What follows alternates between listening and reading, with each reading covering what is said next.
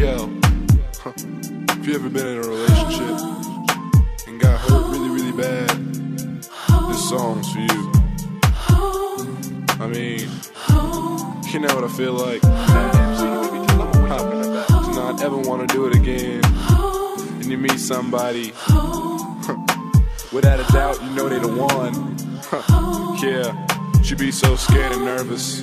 She don't want to get hurt again. Talking about?